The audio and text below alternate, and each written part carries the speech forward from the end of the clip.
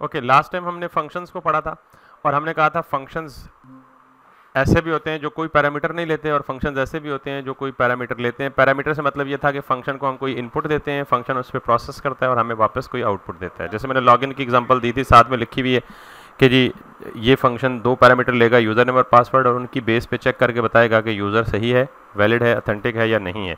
तो फ़ंक्शन का काम यही होता है कि they take input they process on that input and they give us output, ये फ़ंक्शन का प्राइमरी काम है। जावास्क्रिप्ट मैंने कहा था इसके तीन पिलर्स हैं, एक पिलर है इसका अरे दूसरा पिलर है इसका ऑब्जेक्ट तीसरा पिलर है इसका फ़ंक्शन और अगर आप इन तीनों पिलर्स को भी एक पिलर में रिप्रेजेंट करना चाहें तो वो ऑब्जेक्ट है।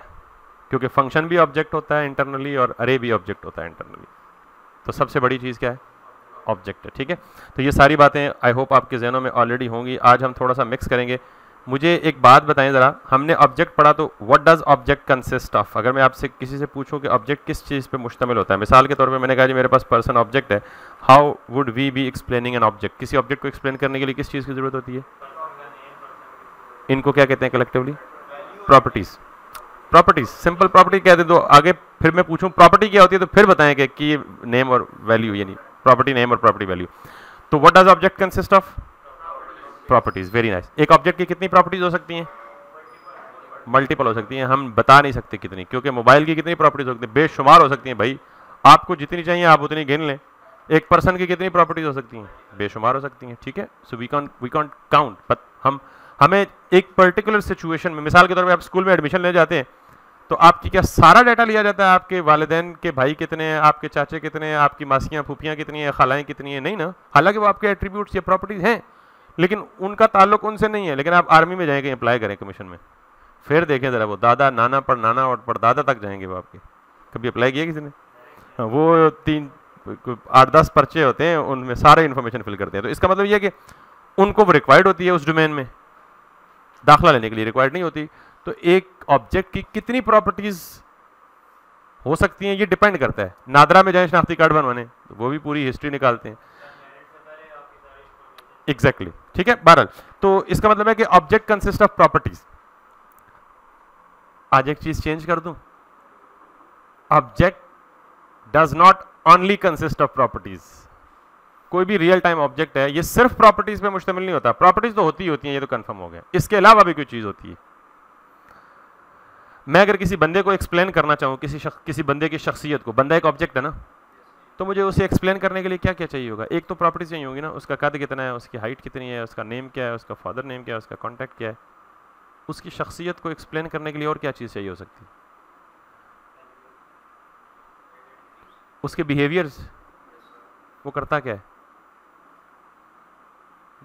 कोई एक्शन भी परफॉर्म करता होगा ना? Human can walk human can talk human can act human can react तो ये सारे के सारे क्या हैं इसके? एक्शंस हैं। तो जो ह्यूमन के या किसी भी ऑब्जेक्ट के जो एक्शंस हैं, उनको हम रिप्रेजेंट करते हैं किससे? फ़ंक्शन से। यानी ऑब्जेक्ट के अंदर दूसरी चीज़ क्या होती है? फ़ंक्शंस होते हैं। तो फ़ंक्शंस आपने पहले से पढ़ लिए सेपरेटली तो पढ़ लिए ना? अब उन फ़ंक्शंस को अंदर डालते हैं किसके? ऑब्जेक्ट के। मैंने क्या कहा था? मिक्स करने को कहा था ना? ज़रा पहला मिक्स करते हैं। मैं लेट सपोज़ यहाँ पे कहता हूँ जी पर्सन है तो पर्सन का क्या होगा?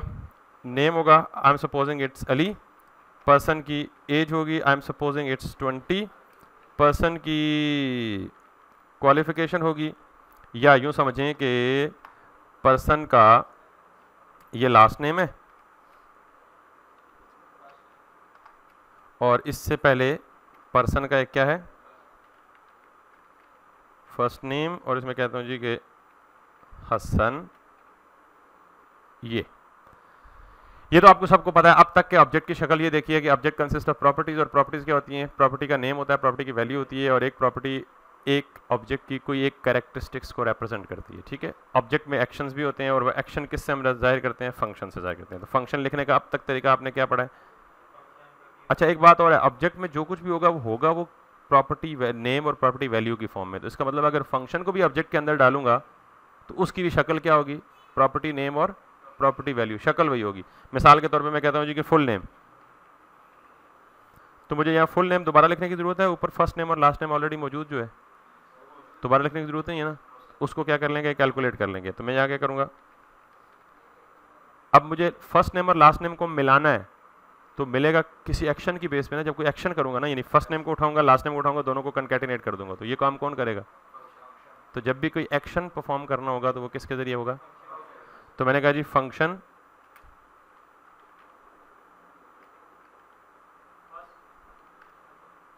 फुल नेम चाहिए ना भाई? तो फ़ंक्शन का नाम क्या रख दूँ? फुल नेम रख दूँ। और इसके अंदर मैं क्या कर दूँ? लॉग और कंसोल लॉग कर क्यों रहा हूँ? ये बता, बताता हूँ अभी थोड़ी देर में। सॉरी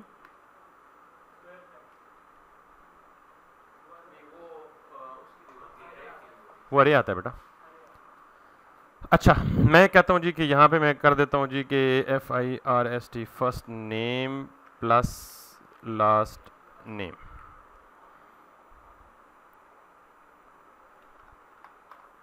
तो क्या दो स्ट्रिंग्स आपस में ऐड हो सकती हैं? तो क्या होगा? दोनों आपस में कॉन्केटिनेट हो जाएँगे। समझ आ गई बात? तो फ़र्स्ट नेम और लास्ट नेम मिला के फुल नेम मिल गया हमें। लेकिन यहाँ जो बात समझानी थी वो ज़रा समझिएगा। बात ये समझानी है कि किसी भी ऑब्जेक्ट के अंदर अब दो चीज़ें होती हैं। कौन कौन सी? एक प्रॉपर्टीज़ और दूसरा आज मैंने बताया क्या? फ़ंक्शंस हो सकते हैं। अब मुझे बताएँ कि फ़ंक्शन का जो नाम होता है वो यूनिक होना चाहिए ना? जैसे वेरिएबल का नाम यूनिक होता है। और किसी एक फ़ंक्शन के दो नाम हो सकते हैं। आपका नाम क्या है? आपके दो नाम हो सकते हैं। नहीं हो सकते ना? ऐसा ना कीजिएगा जी घर में मुझे काशी बोलते हैं, लाड से, और बाहर वाले कासिम बोलते हैं तो ये दो नाम है। ये दो नाम नहीं ना एक्चुअली ये तो निक नेम खुद बनाया ना। नादरा में आपकी आइडेंटिटी के नाम पे दो नाम हो सकते हैं। नहीं हो सकते ना। तो मुझे बताएँ कि ये फ़ंक्शन का जो लेफ़्ट साइड पे वो प्रॉपर्टी नेम वैल्यू को रिप्रेजेंट करने के लिए होता है ना। तो ये भी नाम फुल नेम है, और ये भी नाम क्या है? ये फ़ंक्शन का एक्चुअल नेम है जो हम नॉर्मली लिखते होते हैं। अगर हम फ़ंक्शन सेपरेटली लिखते और ये हमने क्योंकि अब इस फ़ंक्शन को ऑब्जेक्ट के अंदर लिखा है तो हमने कहा थी ऑब्जेक्ट के अंदर फ़ंक्शन को लिखेंगे तो उसके लिए प्रॉपर्टी नेम देना पड़ेगा। तो इसका मतलब ये हुआ कि एक ही फ़ंक्शन को कितने नाम मिल गए? दो मिल गए। ऐसा तो पॉसिबल नहीं है। होना ही नहीं चाहिए ऐसा। गेटिंग माई पॉइंट तो याद रखिए जब भी हम फ़ंक्शन को ऑब्जेक्ट के अंदर लिखेंगे तो हम फ़ंक्शन के कीवर्ड के साथ इसका नाम नहीं लिखेंगे। हम ऐसा फ़ंक्शन बगैर नाम के लिखेंगे। और जो चीज़ कोई बगैर नाम की होती है तो उसको क्या बोला जाता है? शायर, शायरी शायरी की ज़ुबान में। गुमनाम शायर या बेनाम शायर? सारे आशिक बैठे हैं, माशाल्लाह, इस उम्र में। ऐसे ही होता है ना? तो ऐसे फ़ंक्शन को कहते हैं बेटा जिसका कोई नाम नहीं होता, उसे कहते हैं एनोनिमस फ़ंक्शन क्या कहते हैं? एनोनिमस फ़ंक्शन तो एनोनिमस का मतलब ही क्या होता है? गुमनाम या बेनाम। तो ऐसा फ़ंक्शन जिसका कोई नाम ना उसे क्या कहते हैं? एनोनिमस फ़ंक्शन ये जो फ़ंक्शन है ना बेटा, जिसका कोई नाम नहीं है एनोनिमस तो फिर इसका मतलब यह है कि जब किसी फ़ंक्शन का नाम ही नहीं होगा तो कॉल कैसे करेंगे भाई? तो कॉल करने के लिए ये नाम दे जो दिया पहले। तो यहाँ से नाम मिटाने का मकसद ये था कि एक फ़ंक्शन के दो नाम नहीं हो सकते।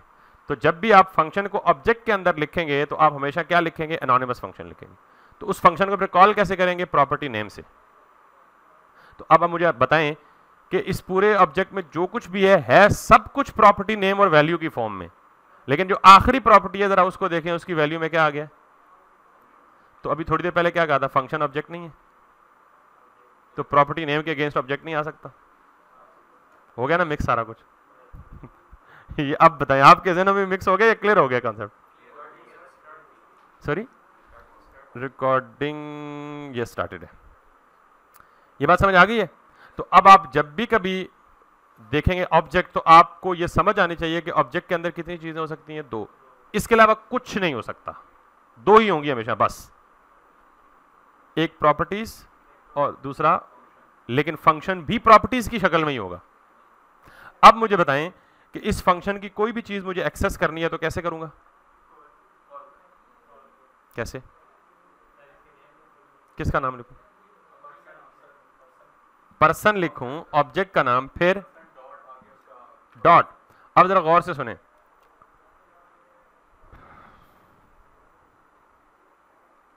चलिए छोड़े गौर से सुनने को।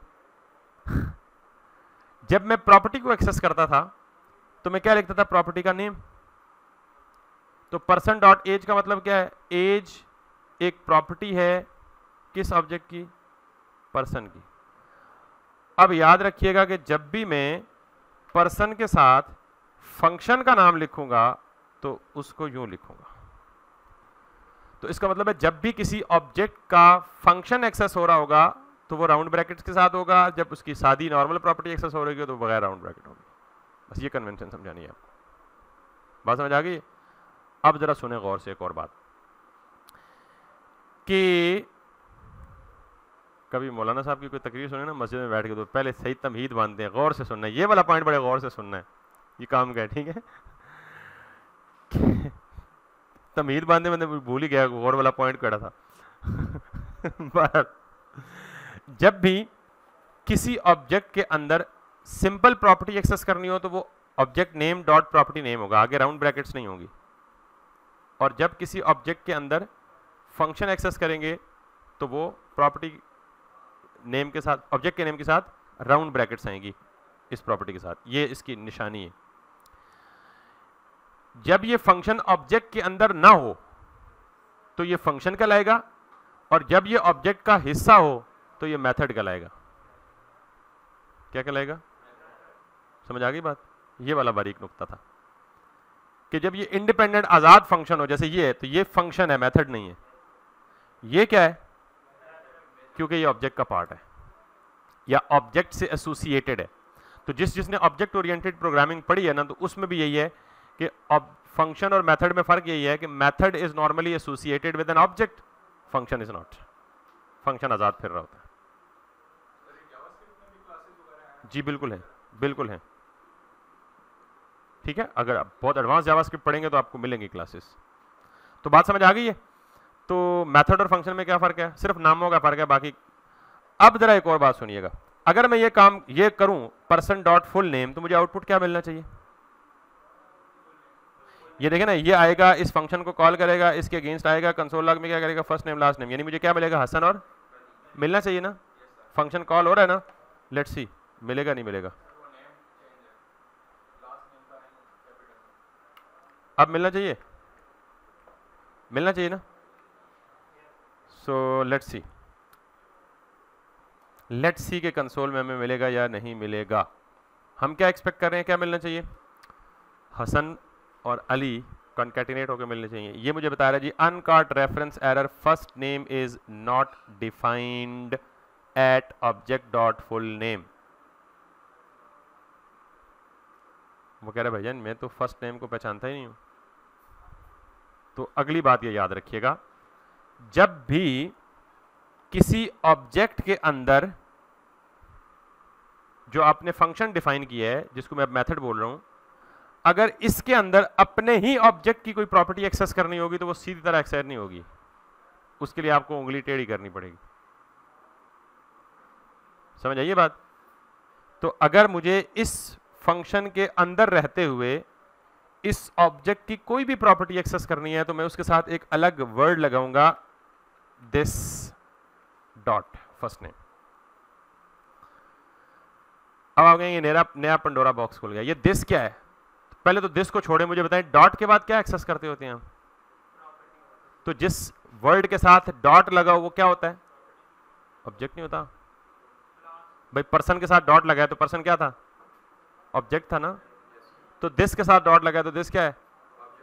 तो ये कौन सा वाला ऑब्जेक्ट है? याद रखिएगा, जिस ऑब्जेक्ट के अंदर रह के उस ऑब्जेक्ट की प्रॉपर्टीज़ एक्सेस करें तो उसके साथ क्या लगेगा? दिस लगेगा। तो ये दिस रिप्रेजेंट कर रहा है इस पूरे के पूरे ऑब्जेक्ट को, और ज़ाहिर है इस पूरे ऑब्जेक्ट में फ़र्स्ट नेम है ना?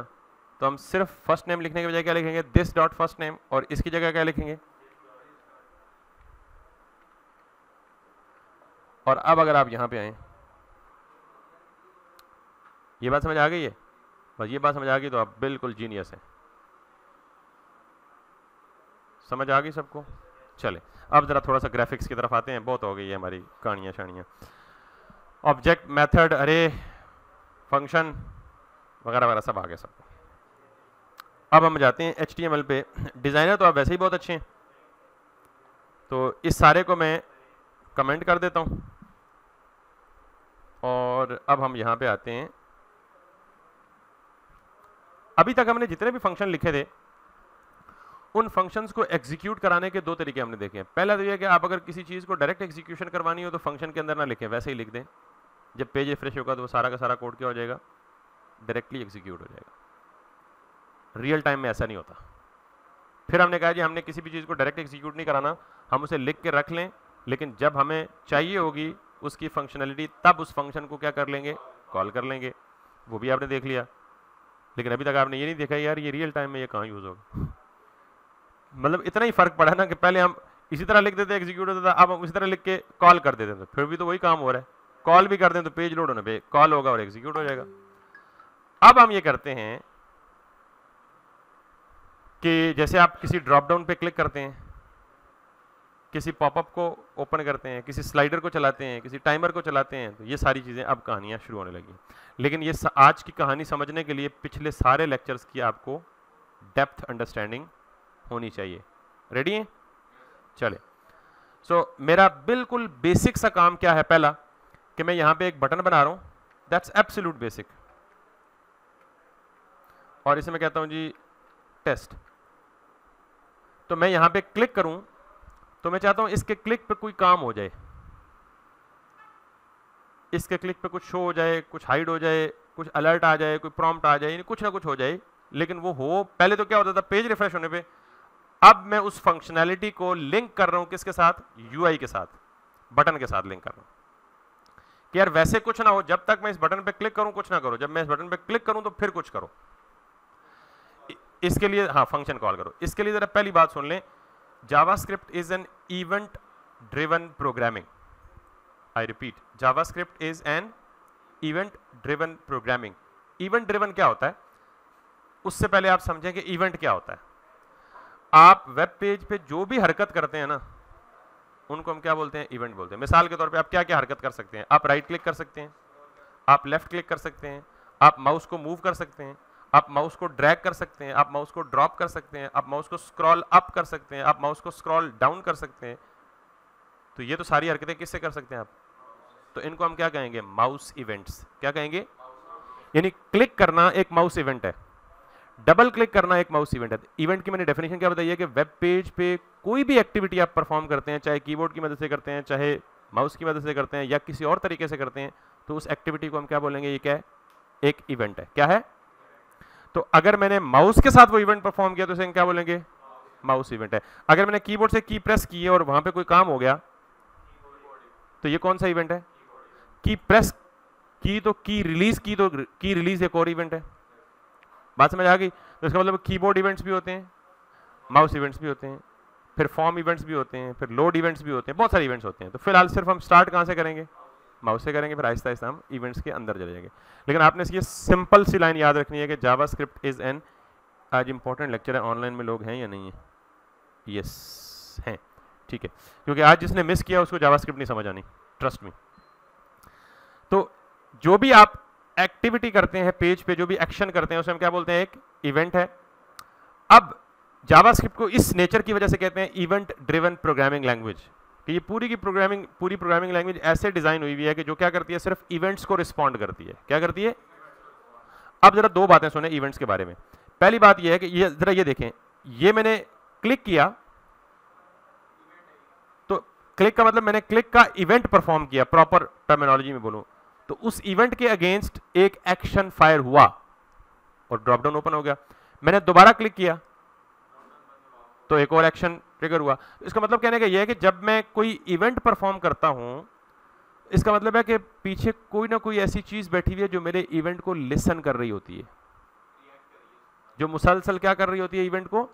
लिसन कर रही होती है। जो ही मैं इवेंट अकर होता है या कोई भी इवेंट अकर करता है तो वो लिसनर इवेंट लिसनर क्या करता है? फॉरन से एक्टिवेट होता है और फॉरन से वो फ़ंक्शन कॉल कर देता है, जो फ़ंक्शन उसके साथ एसोसिएट किया गया होता है। तो इंपॉर्टेंट चीज़ क्या है बेटा? इवेंट परफॉर्म करना और इवेंट लिसन करना। और तीसरा इवेंट लिसन करने के बाद कोई एक्शन परफॉर्म कर देना। तो तीन एक्शन तीन काम करने हमें। इवेंट अकर हुआ, वो तो अकर हो रहा है बेटा। ये बटन पे इवेंट अकर हो रहा है बार बार हो रहा है। लेकिन अभी कुछ काम क्यों नहीं हो रहा क्योंकि इसके पीछे लिसनर ही नहीं है। समझ आई बात? तो इवेंट लिसनर या उसको बाज हम कहेंगे इवेंट हैंडलर तो अभी मुझे कोई बता सकता है, मेरी अभी तक की दी गई मालूम के मुताबिक कौन कौन से इवेंट्स हैं? नाम बता सकता है कोई? Qasim.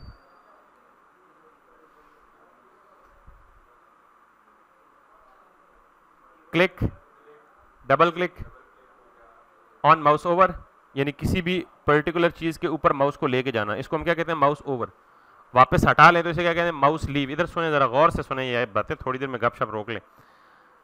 नंबर एक इवेंट का नाम क्या है? क्लिक दूसरे इवेंट का नाम क्या है? डबल क्लिक तीसरे इवेंट का क्या नाम है? माउस ओवर चौथे इवेंट का नाम क्या है? माउस लीव पाँचवें इवेंट का नाम क्या है? डबल डबल क्लिक हो गया ना?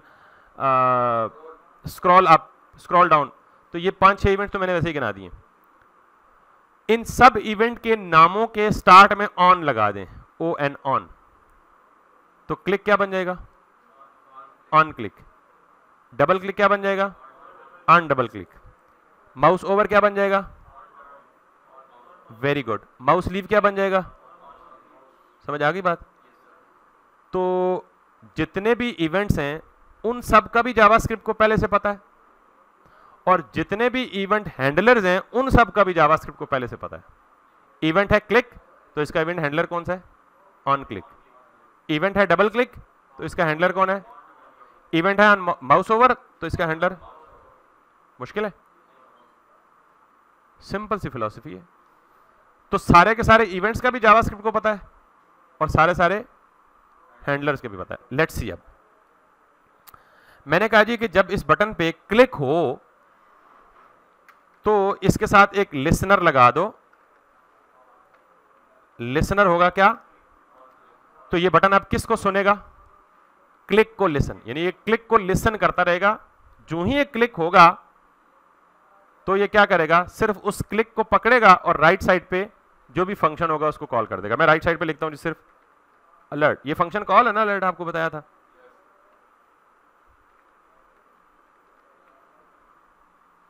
अब आप जाएँ और इसको रिफ्रेश करें, कुछ भी नहीं हो रहा। लेकिन बटन को जो ही मैं क्लिक करूँगा तो इसका मतलब है अब मैं आहिस्ता आहिस्ता क्या कर चुका हूँ? चीज़ों को कंट्रोल में ला रहा हूँ। कि बजाय इसके कि पेज में वो खुद बहुत एग्जीक्यूट हो जाए, मैं उनको एसोसिएट कर रहा हूँ किसी भी यूआई के एलिमेंट के साथ कि जब मैं क्लिक करूँ, तब ये काम करो अदरवाइज़ ये काम ना करो। अब जरा गौर से सुनिएगा। ये अलर्ट बिल्ट इन फ़ंक्शन है या यूज़र डिफाइंड फ़ंक्शन है? बिल्ट इन है। तो क्या जब बिल्ट इन कॉल कर सकता हूँ तो यहाँ मैं यूज़र डिफाइंड फ़ंक्शन कॉल नहीं कर सकता? कर सकता हूँ ना। तो यूज़र डिफाइंड फ़ंक्शन कॉल तब होता है जब पहले कहीं डिफाइन हुआ वो तो हम जाके पहले डिफाइन ना कर ले फ़ंक्शन एक अपना, छोटा सा। तो फ़ंक्शन डिफाइन करने के लिए क्या है? टेस्ट बनाया हुआ है, लेकिन मैं दोबारा से बना रहा हूँ उसको हम किसी और मकसद के लिए यूज़ कर लेंगे। डिस्प्ले मैसेज नाम दे दें, ठीक है? और जब ये डिस्प्ले मैसेज हो तो क्या करें? मैं कहता हूँ जी कंसोल लॉग में जाके गए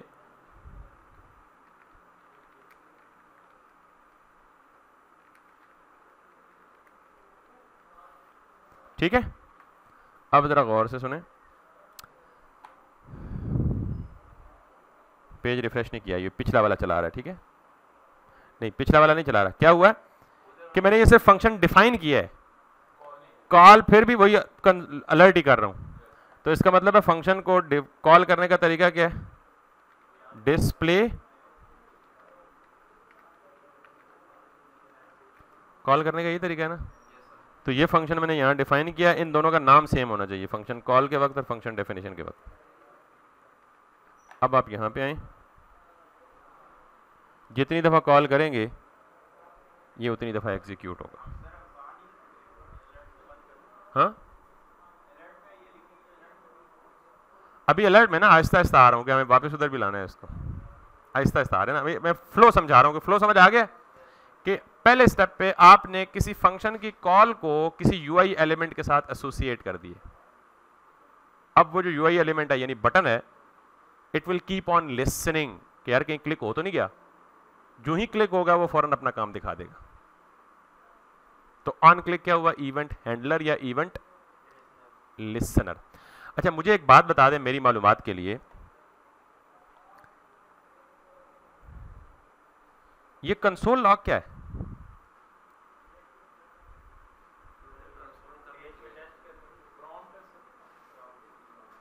मैं ये नहीं पूछ रहा करता क्या है यूज़ क्यों करते हैं। मैं पूछ रहा हूँ, ये है क्या कंसोल लॉग एक्सप्लेन इट जिंदाबाद। क्या बात है यार, ये कंसोल है। जी, ठहरे जरा ठहरे जरा, आपकी तरफ़ मैं आता हूँ, क्योंकि आपके तो मैं कान खींच सकता हूँ ना, जरा पहले ऑनलाइन वालों को खींच ली। जी ऑनलाइन में कोई बताएगा कंसोल लॉग क्या बला है? अभी सोच लें आप इतनी देर में। ऑनलाइन कंसोल लॉग क्या है? सर मैसेज डिस्प्ले करता है जैसा सी आउट होता है उसके अंदर सी प्लस प्लस के अंदर नहीं नहीं बेटा आप ठीक है मैं ये नहीं पूछ रहा ये जवाब यहाँ भी दिया एक बंदे ने कि क्या मैं ये नहीं पूछ रहा क्या करता है मैं ये पूछ रहा हूँ ये क्या बला है सर ये फंक्शन है अच्छा ये फंक्शन है फिर जरा देखें गौर से नवाल जरा गौर से देखें सर ऑब्जेक्ट है कंसोल इसके अंदर लॉग फंक्शन है that's it this is what I wanted हां और ਤੁਸੀਂ ਦੱਸੋ ओ भाई, अभी नहीं बताया कि जिस चीज़ के साथ डॉट लगा हो, वो ऑब्जेक्ट होता है। और ऑब्जेक्ट के आगे दो में से एक चीज़ हो सकती है। यानी डॉट के बाद दो में से एक चीज़ हो सकती है। या वो क्या होगा? प्रॉपर्टी होगी, या वो क्या होगा? अच्छा ऑब्जेक्ट के अंदर फ़ंक्शन होता है। मेथड मतलब है फ़ंक्शन, लेकिन इसका नाम चेंज हो जाता है। तो कंसोल लॉग क्या हुआ? Nawal got the correct answer console object है और लॉग क्या है? उसका मेथड है। अब मुझे बताएँ कंसोल यूज़र डिफाइंड ऑब्जेक्ट है? बिल्ट इन है।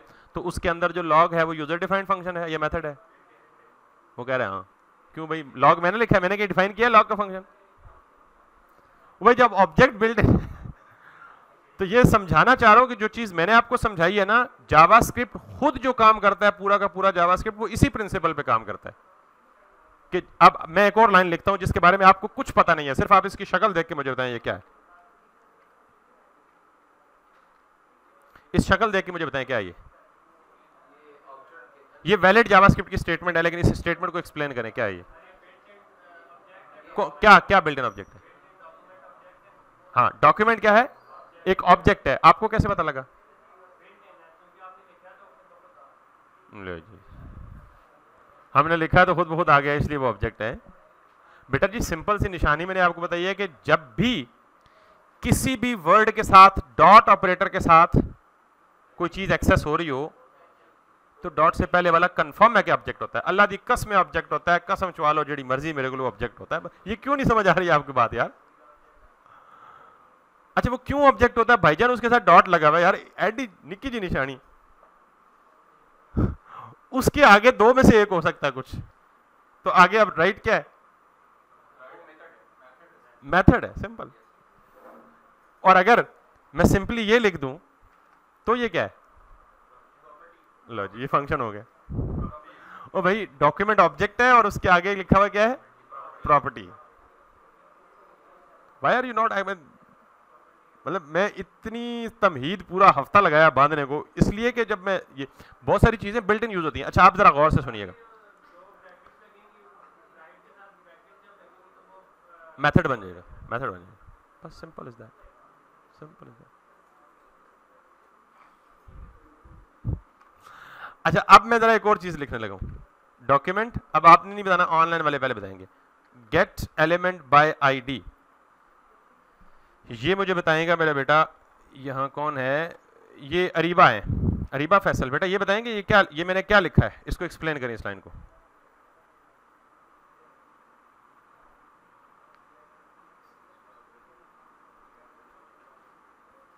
अरीबा, अगर मुझे सुन सकती हैं और आपका माइक ठीक है तो आप प्लीज़ बोलें। शायद उनके माइक में कोई इशू है या पता नहीं। इशू क्रिएट कर दिया है उन्होंने खुद ही। हसन अली है?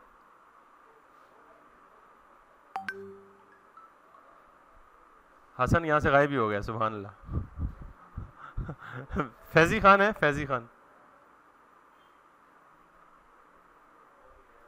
आज सारों के माइक ख़राब होने अल्लाह के फजल करम से। हुजैफा है? चलें जी, मर्ज़ी आपकी, जवाब नहीं देते। जी बेटा, आप बोल दें। चले नवाल आप बोल दें। आपका माइक ठीक है अभी थोड़ी देर पहले चेक हुआ था बाकी सर सर जो डॉक्यूमेंट है ये हमारे पास ऑब्जेक्ट होगा और डॉट गेट एलिमेंट आईडी है इसके आगे स्क्वायर राउंड ब्रैकेट्स हैं तो ये एक प्रॉपर्टी होगी। वेरी गुड और अगर राउंड ब्रैकेट डाल दो तो क्या होगा? तो फ़ंक्शन हो जाएगा। वेरी नाइस वेरी नाइस और उस फ़ंक्शन को मेथड होगा मेथड मेथड जब ऑब्जेक्ट के साथ फ़ंक्शन एसोसिएट हो जाए ना तो वो मेथड हो जाता है। अदरवाइज़ वो फ़ंक्शन रहता है इंडिपेंडेंट हो तो। बहरहाल इट डजंट मेक डिफरेंस आप फ़ंक्शन मेथड दोनों अल्टरनेट यूज़ कर सकते हैं लेकिन एक एक क्वेश्चन जहन में रखिएगा कि इनमें थोड़ा सा डेलिकेट सा फ़र्क भी है। जी अब जरा फ़िज़िकल आप बताएँ जी, क्या है ये? कासिम।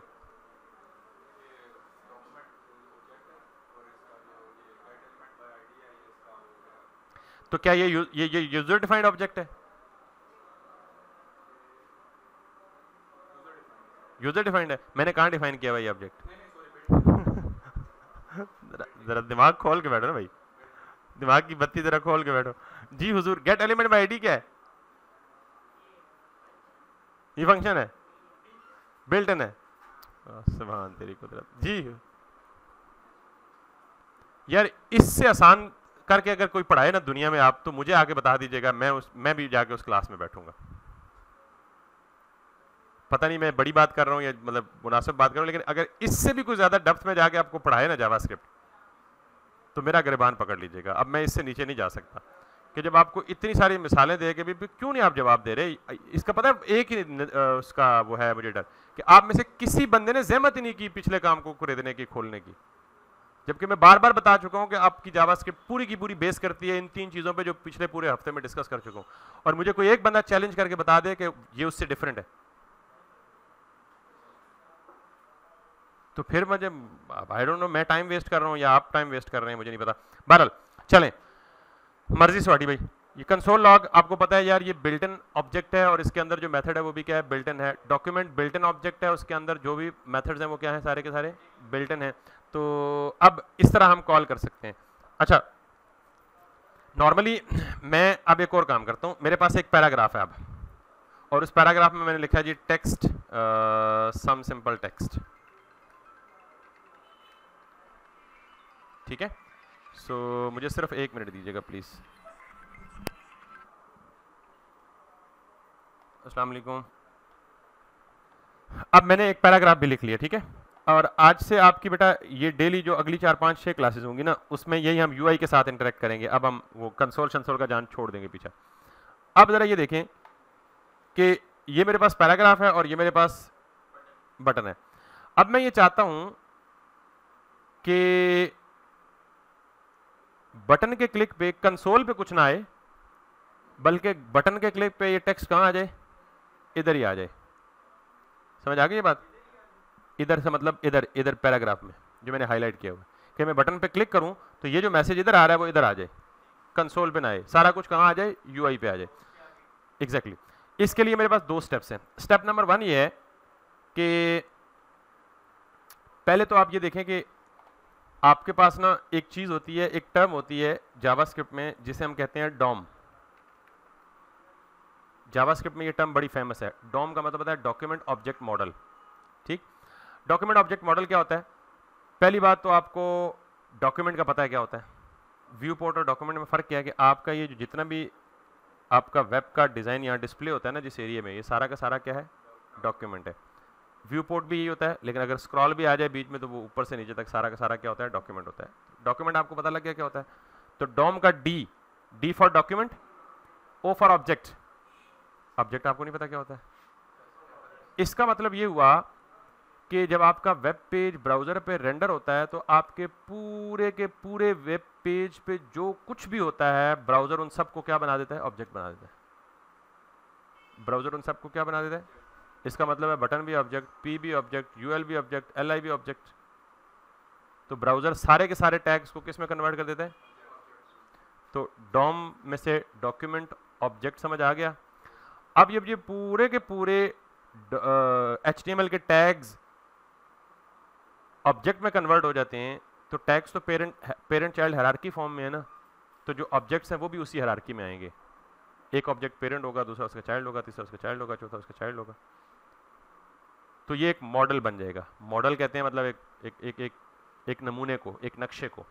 तो ये पूरा का पूरा एक नक्शा बन जाएगा ऑब्जेक्ट्स का।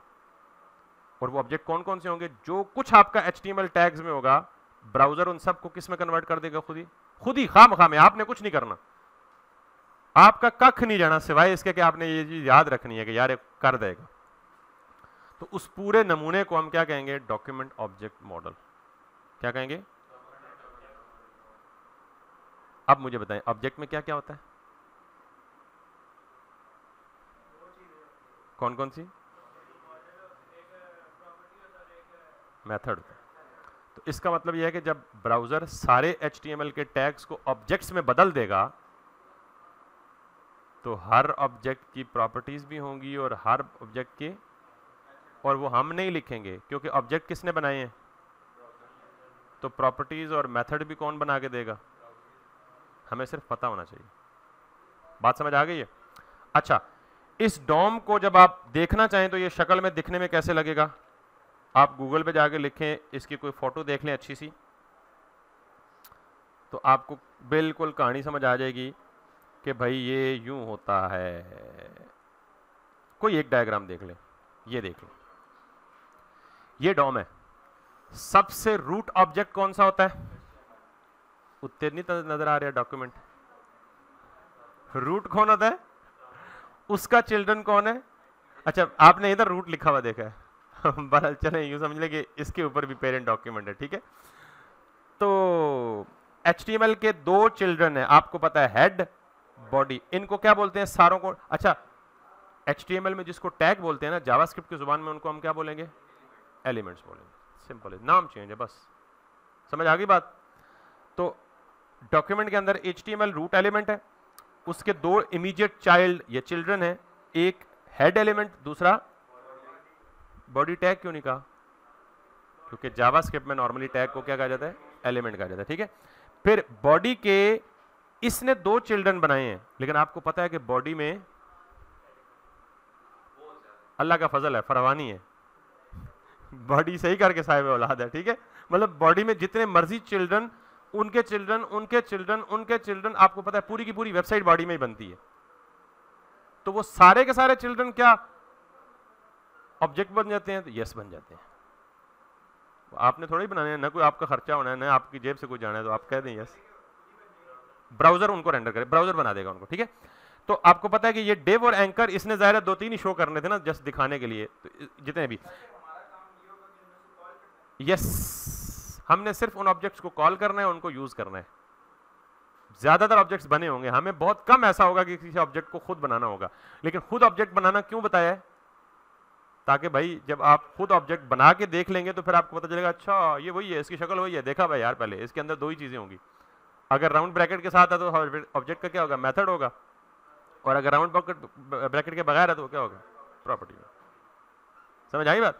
तो अगर मैं ये समझाए बगैर ये समझाता ऑब्जेक्ट प्रॉपर्टी डॉ तो आप कहते हैं ही। बुलाए पहले ही सिर तो छह फुट उत्ते गुजर रहे थे तो बारह फुट उत्ते जावे यार। मज़ाक कर रहा हूँ, मेरी बात बुरा नहीं मानना, लेकिन वाकई आप लेजी हैं, पढ़ते नहीं हैं आप। मज़ाक पे मज़ाक। अब इसी तरह ये ग्रो करते जाएँगे, और हेड में भी कुछ एलिमेंट्स होते हैं टाइटल होता है मेटा होता है लिंक होता है वगैरह वगैरह। तो ये बेसिकली इसको हम क्या कहते हैं डॉम डॉम का मतलब डॉक्यूमेंट डॉक्यूमेंट के अंदर सारे के सारे ऑब्जेक्ट्स जो ब्राउज़र ने खुद कन्वर्ट किए होते हैं, वो सारे के सारे पेरेंट चाइल्ड एक नमूने की शक्ल में होते हैं, एक मैप की शक्ल में होते हैं और उसको हम मॉडल बोल रहे होते हैं। और इस कंप्लीट तीनों चीज़ों को हम क्या कहते हैं DOM document object model clear होगी बात? अब ज़रा वापस आएँ और इन डॉम को एक्सेस करके देखें। अब सवाल ये है कि जब मैंने कहा कि ब्राउज़र सारे एचटीएमएल के टैग्स को ऑब्जेक्ट बना देता है तो इसका मतलब यहाँ बटन भी ऑब्जेक्ट है पी भी ऑब्जेक्ट है। अभी तो है ही दो तो दोनों क्या है? मतलब जब ब्राउज़र वेब जावास्क्रिप्ट के कॉन्टेक्स्ट में बात करेंगे तो दोनों क्या है? इसका मतलब ये है कि मुझे इन ऑब्जेक्ट्स को छेड़ने के लिए पहले इन तक पहुँचना ज़रूरी है। यानी मैं क्या चाह रहा हूँ, मैं पी का जो कंटेंट है सम सैंपल टेक्स्ट इसको रिप्लेस करना चाह रहा हूँ विद दिस कंटेंट तो पहला काम क्या करूँगा, मैं इस एलिमेंट तक अप्रोच करूँगा, इस एलिमेंट तक पहुंचूँगा। ये एलिमेंट किसके अंदर है? पी किसके अंदर है? पी बॉडी के अंदर है। बॉडी किसके अंदर है? एच के अंदर है। एचटीएमएल किसके अंदर है? डॉक्यूमेंट के अंदर। तो यूँ समझें कि अल्टीमेटली कुछ भी है है सब कुछ डॉक्यूमेंट के अंदर ही। समझ आई? तो ये बात याद रखिएगा सिर्फ़। और अब अगर मैं किसी भी एलिमेंट को आईडी दे सकता हूँ ना, ये तो आपको पहले से पता है। इसको मैं देता हूँ जी आईडी देता हूँ पी तो जावास्क्रिप्ट में रहते हुए जावास्क्रिप्ट में रहते हुए एचटीएमएल का कोई भी एलिमेंट गेट करना हो तो उसके लिए क्या करते हैं? पहले आप डॉक्यूमेंट लिखते हैं, यानी डॉक्यूमेंट तक पहुँचते हैं, क्योंकि डॉक्यूमेंट के अंदर ही है सब कुछ, उससे बाहर। फिर हम कहते हैं जी, dot get element by ID. अब राउंड ब्रैकेट है तो ये गेट एलिमेंट बाय आईडी क्या हो गया? ऑब्जेक्ट है। तो जब आप, ऑब्जेक्ट नहीं, मेथड है। तो मेथड एक्शन होता है ना? मेथड एक्शन होता है ना? तो इसका मतलब ये गेट एलिमेंट बाय आईडी क्या करेगा? किसी चीज़ को गेट करेगा। किसकी बेस पे करेगा गेट आईडी की बेस पे। तो ये पी आईडी है या नहीं है? इधर देख लो। मैंने पी आईडी दी है। तो मैंने क्या कहा? डॉक्यूमेंट में जाओ और एक एलिमेंट को गेट करो जिसकी आईडी क्या है? यहाँ जिस एलिमेंट की आईडी देंगे, ये उस एलिमेंट को गेट करके ले आएगा। दे सकते हैं। हर हर टैग को आईडी दे सकते हैं। जिस तरह हर हर टैग को क्लास दे सकते हैं, इस तरह हर टैग को आईडी दे सकते हैं। यस आईडी यूनिक होती है क्लास मल्टीपल एलिमेंट्स को सेम दे यहाँ तक समझ आ गई बात? अब जरा मैं इसको लॉक करके देखता हूँ, ये क्या देगा मुझे?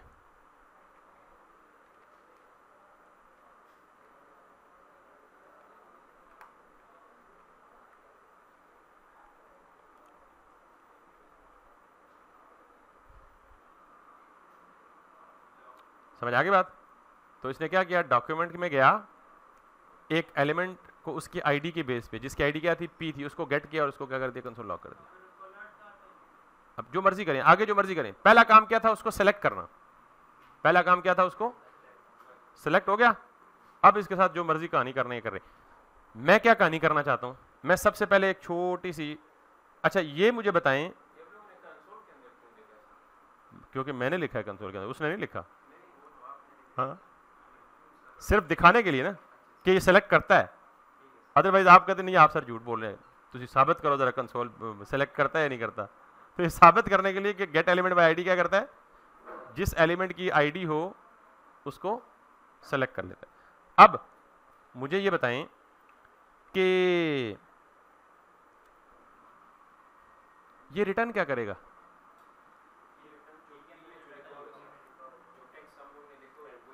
अच्छा ये रिटर्न क्या करेगा? भाई रिटर्न वो होता है जो वो हमें वापस दे रहा होता है। एरर देगा। अभी आपके सामने चलाया था एरर दिया था उसने। तो ये एरर दे देगा। कंसोल में शो करेगा। सही, यकीन करो, एक तू, एक बड़ा तुक्के बाज है। हाँ जी। जी ऑनलाइन में कोई बता दे। ये document dot get element by ID क्या रिटर्न करेगा मुझे? अब क्लिक वाली कहानी तो है ही नहीं है। वो तो ऊपर है ना डिस्प्ले खाम खा हो जाएगा, कुछ भी नहीं होगा भाई। हमने मतलब ये क्या, इसको जिन चढ़े हैं जावा खुद ही समझ है सारा कुछ। कुछ भी नहीं हो रहा। ओ भाई, मुझे ये बताएँ पी क्या है? लो जी पी क्या है? पैराग्राफ। पी आईडी है। अच्छा यार कस में सही करके तुझी ओ भाई, छोड़ बटन को यार, मैं जो बोल मशवरे नहीं देना मैं पूछ रहा हूँ कि ये वाली जो लाइन है, ये मुझे क्या रिटर्न करेगी? भाई, मेरी बात सुने। मैंने आपको कहा है कि जब ब्राउज़र में एचटीएमएल रेंडर होगा तो ब्राउज़र सारे के सारे एचटीएमएल के टैग्स को किसमें कन्वर्ट कर देगा? अब मैंने document dot get element by ID किया तो मुझे क्या रिटर्न हुआ? पी तो वो पी क्या बना हुआ होगा? ऑब्जेक्ट हुआ होगा। नहीं? ठीक है? अब जरा एक और बात सुनिएगा। मैंने इसको कर दिया जी let A equals to this या लेट पी कर दें। अब पी में क्या पड़ा हुआ?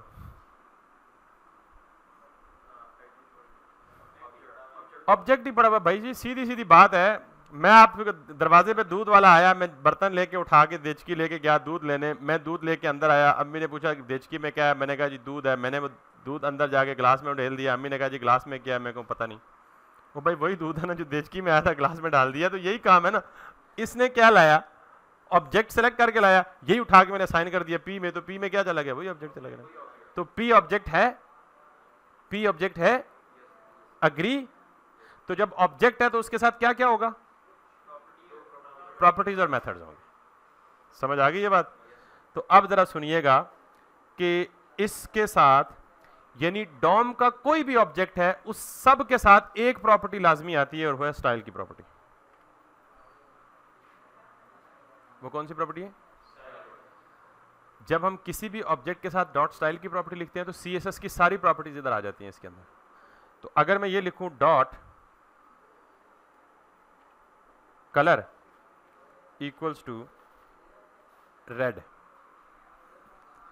तो इसका मतलब ये हुआ कि P एक ऑब्जेक्ट था, उसके अंदर स्टाइल की एक प्रॉपर्टी थी स्टाइल की प्रॉपर्टी के अंदर फिर एक प्रॉपर्टी थी कलर की, मैंने उसकी वैल्यू को जाके ओवरराइट कर दिया और उसको नई वैल्यू क्या दे दी? अब जरा देखिएगा।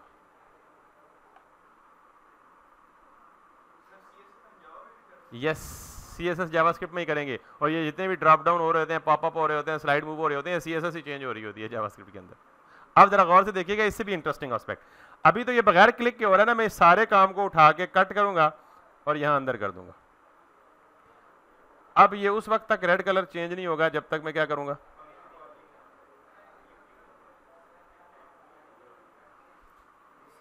नॉट ओनली दिस दो मिनट है, जी सर। अब मैं चाहता हूँ बटन के क्लिक पे ये पैराग्राफ गायब ही हो जाए। अगर आप सिर्फ़ एक कॉन्सेप्ट समझ चुके हैं ना तो आप यूँ समझें कि जावास्क्रिप्ट का एक बहुत बड़ा हिस्सा समझ चुके हैं। अब जरा गौर से देखिएगा। मैं चाहता हूँ, अब आप समझें कि सपोज़ करें कि ये पैराग्राफ नहीं है, ये ड्रॉप डाउन मेन्यू है। तो आपने सिर्फ़ क्या करना है? डॉट डिस्प्ले डिस्प्ले की प्रॉपर्टी पड़ी भी है ना सीएसएस में? पड़ी भी है ना? डॉट डिस्प्ले नन होगी गायब? मुश्किल है इसमें कोई?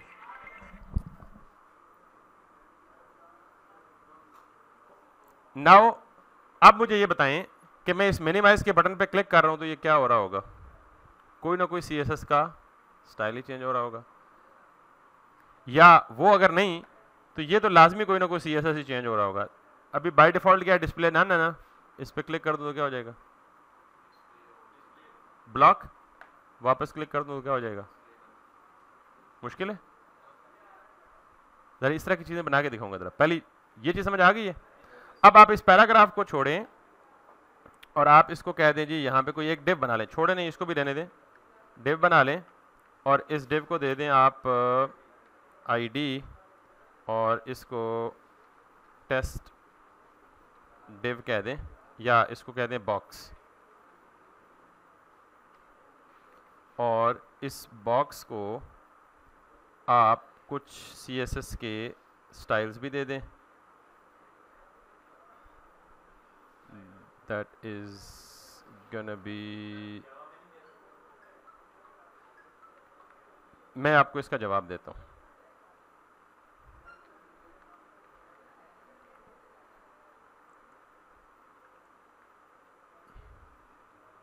जावास्क्रिप्ट में स्टाइल नहीं देते। जावास्क्रिप्ट में सिर्फ़ स्टाइल्स को डायनामिकली चेंज करते हैं। जो स्टाइल है वो हमेशा सीएसएस में ही रहेगा। अब ज़रा देखिएगा। जो स्टार्टिंग के स्टाइल्स हैं वो मैं किसमें दूँगा? सीएसएस में ही। लेकिन जावास्क्रिप्ट में सिर्फ़ वो स्टाइल दूँगा जो बटन के क्लिक पे चेंज करना है। मिसाल देता हूँ मैं आपको, क्लियर हो जाएगा, ठीक है? Width 300 pixels height 700 pixels BGC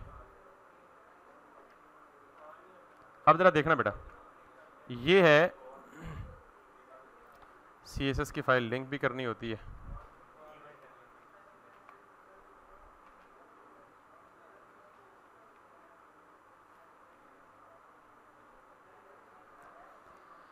Normal C S S as it is रहेगी, जैसे अपने पहले की हुई है।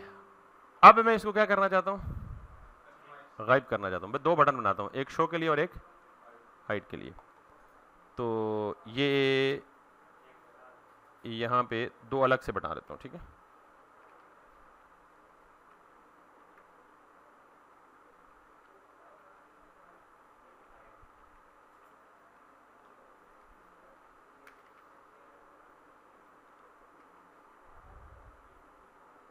फ़ंक्शन बनाएँगे अभी, उसको नाम भी यही दे देंगे, ठीक है? अभी बनाया नहीं है फ़ंक्शन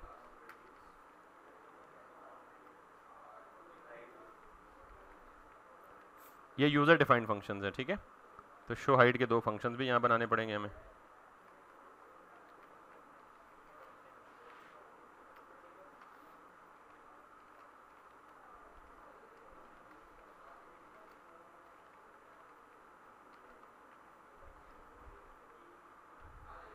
पहला काम हमें क्या करना होगा? वो डिव जो है, जिसकी आईडी बॉक्स है, उसको गेट करना पड़ेगा। तो मैं क्या कहूँगा? Let box equals to document dot get element by ID box फिर क्या करूँगा? बॉक्स एक ऑब्जेक्ट है।